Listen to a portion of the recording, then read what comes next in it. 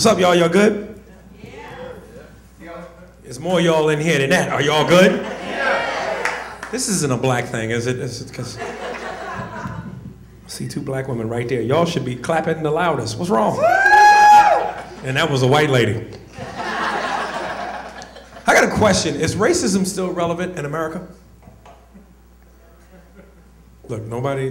Am I speaking German in here? Is, is racism still relevant in America? See some of the white people like, whatever do you mean? Let me tell you something, man. Racism will always be relevant in America for two reasons. One, it's just too much bad history in this country. And two, I just think it's natural for everybody to be a little bit racist. And white people, y'all are the first ones to denounce that. I'm not racist. I'm incapable of being racist. My best friend is black.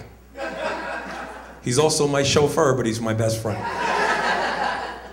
Let me tell you something. Everybody in this room, everybody in this country is a little racist. You might not be smack a taco out of Mexican hand racist, but everybody is a little. Forget y'all, man. That's funnier than that. I don't know why y'all scared to laugh. Y'all act like 300 Mexicans gonna pop out the kitchen. What the? It's hilarious.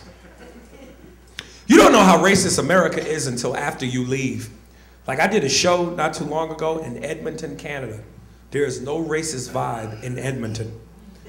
Well, first of all, ain't no brothers out there, so ain't nobody be mad at me. But the comedy club was inside this mall. It was like the world's biggest mall. I must have walked around that mall for four days looking for a black person. Finally, I saw one. I ain't even know him. I just ran up to him and hugged him, like, dog, where you been? We need to stick together. He was offended. He was like, dude, get your hands off me, bro. That's totally uncool. I was like, they got him. They got him. It's too late. I know I'm not supposed to cuss on this show, but if y'all don't pep up, I'm gonna start cussing everybody out. It's really weird, man. Yeah, like I didn't, I didn't really do much today. Um, sat around the house, smoked weed. Any weed smokers in here?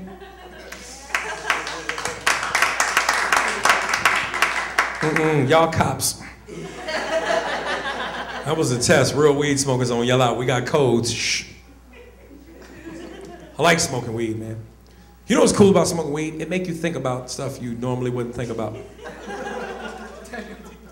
You know, like I was sitting around the house today smoking weed, and I got to thinking, is it possible for a male midget? You got to be high to be thinking about midgets.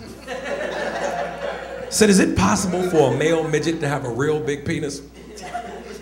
Cause I ain't like gay or nothing. It's just you know everything on a midget be tiny. You ever see their fingers? They look like them little orange baby carrots. You ever see? like could a midget actually have something like this? And I actually know famous midget people. Like I'm good friends with Lil Webster and Gary Coleman. I got their numbers on my cell phone. I don't know why, but I got it. And I was hanging out with Little Webster one time, and he told me something that blew my mind. He says when he has sex, he don't like having sex with women his size. He liked to have sex with grown-sized women. And I was sitting around the house smoking weed, and I got to thinking, if Little Webster was having sex with a grown-sized woman, doggy style, is he actually standing up in the bed? Fellas, you know you get a woman on all fours, your feet flat to the floor. Is he standing straight up in the mattress? Like if you walked in on something like that, your instinct would be to leave. But you'll check that out for a hot minute, you? You walk in like, oh my God, I'm sorry. Oh, wow. Dog, look at this. This is crazy. No, he's standing on a Nike shoebox. I can't believe this. Some weed that is deep. It's funny, I just got back from off the road.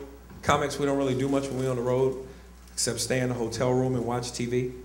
And I'm flipping through some of the stations and I'm watching these programs like Povich and Springer.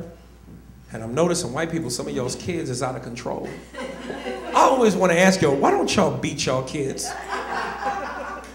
Y'all give y'all kids all kind of timeouts and special places. What the hell is a special place? To a black child, that's a coma. What is that? Black kids don't know nothing about timeout. We know about getting knocked out. That's it. My mother used to slap the out of me in public, and I would look at people for help. Like, shut up.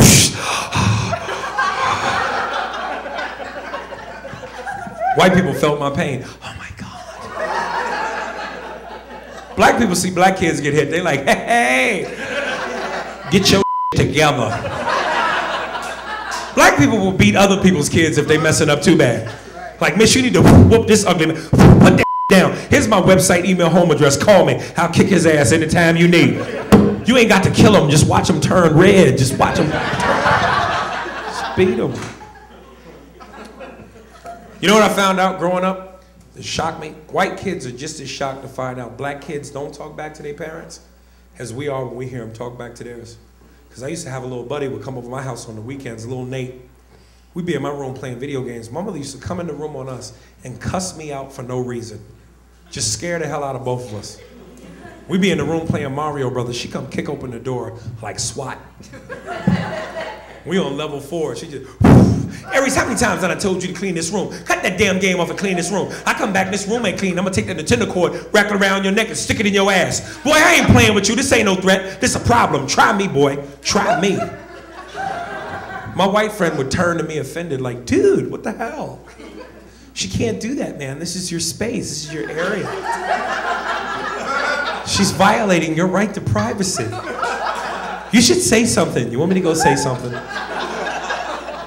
I'd be so scared. I start talking to him like a slave from Roots, like, you's gonna get me in troubles. I like you, Nate. I really do.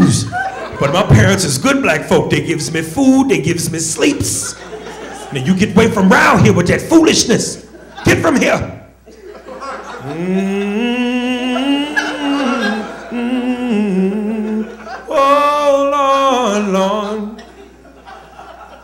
Look, some of the black people chiming in. Let my people go. My mother smacked a white boy. He turned into me. Wade in the water. That's foreign to a lot of the white people. You're like, really?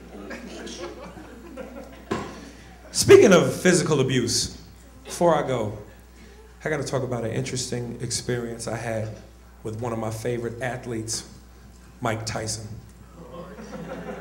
I know a lot of people don't like Mike, but I like Mike. I'm with Mike to the end, which is now when I'm with him. I actually met Mike, man. It was really crazy because I'm such a big fan of his. I did this show called The Best Damn Sports Show, and I'm sitting on a panel, and it's me, Tyson, Tom Arnold, and John Salley. And Tom Arnold puts me on the spot and turns to Mike and says, Mike, Aries does a good impression of you. Aries, do it. You can smell the feces already, can't you? And usually when I do impressions in front of actual celebrities, they all say the same thing. Oh my God, that was very nice. I'm flattered. Thank you. But with Mike, it was weird because I did the impression and I was like, you know, I love boxing and everything that it's done for me. But sometimes I get very frustrated with the media, which is why I get very tyrannical with you. and Mike was kind of laughing, but he wasn't. And he had like this snarl on his face. And after about six seconds, he finally said, You know, if you did that two or three years ago, I'd have chased you down the street and punched you in the spleens. but based on where I'm at in my life right now, I'm very flattered. Thank you. And after he said it, I was cool, but I can't lie. I peed a little bit. It wasn't like a big stain, just just a drop, but I didn't want to get on TV. Listen, y'all have been fun. Thank you.